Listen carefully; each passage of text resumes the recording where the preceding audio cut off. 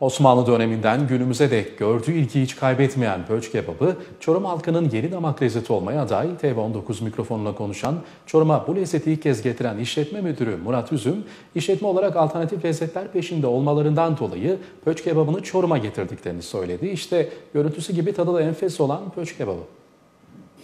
Şifalı olan kısmı suyu.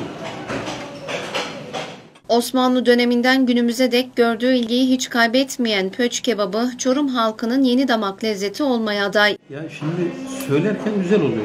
Konuşurken beyinde düşünür. Eski dönemlerde fiyatının ucuzluğu sebebiyle yemeklerde daha çok tercih edilen pöç, değişik bir sunum ve muhteşem lezzetiyle kırmızı et severleri bekliyor. Pöç kebabı bu. TV19 mikrofonla konuşan Çorum'a bu lezzeti ilk kez getiren işletmenin müdürü Murat Üzüm, pöç kebabının Osmanlı dönemine ait bir yemek olduğunu söyledi. Pöç kebabı Osmanlı kültürüne e, özgü bir yemek çeşidi. Aşağı yukarı 8-9 saat gibi bir sürede pişiyor.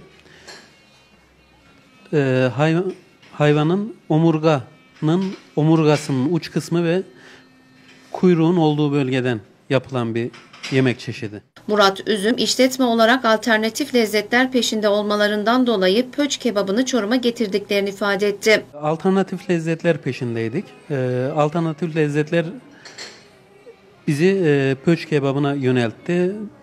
Et sonuçta tandır. Çorum tandırı seviyor. Biliyoruz. Tandırın e, pöçten yapılan şekli bir nevi. Ya da haşlama diyebiliriz. Kuzu incik haşlamayla aynı e, lezzette zaten e, tel tel dağılan ağza aldığınız zaman müthiş bir e, damak lezzeti bırakan bir lezzet.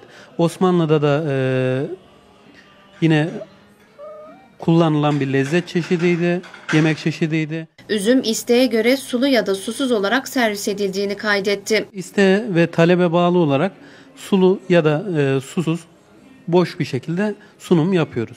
Üzüm, pöç kebabının faydaları hakkında da konuştu. Kemik, kemik hastalarına kıra, çıka, yana, yaraya iyi geliyor. Bundan dolayı da Osmanlı döneminde e, askerlere savaş döneminde yedirilen bir suyu içirilen bir yemekti. Üzüm, Çorum halkının pöç kebabına ilgisinin artmaya başladığını sözlerine ekledi. İlk etapta e, tereddüt vardı mutlaka ki. Ama şu anda e, gayet memnun insanlar. E, hatta ve hatta son dönemde yetişemiyoruz desek yeridir. E, özellikle belli bir yaş yani orta yaşın üzerindeki insanların tercih ettiği bir yemek çeşidi. E, Çorum'a da ilk biz getirdik. E, bizden sonra tabii yayıldı biraz ama e, talep güzel. Talepten de memnunuz.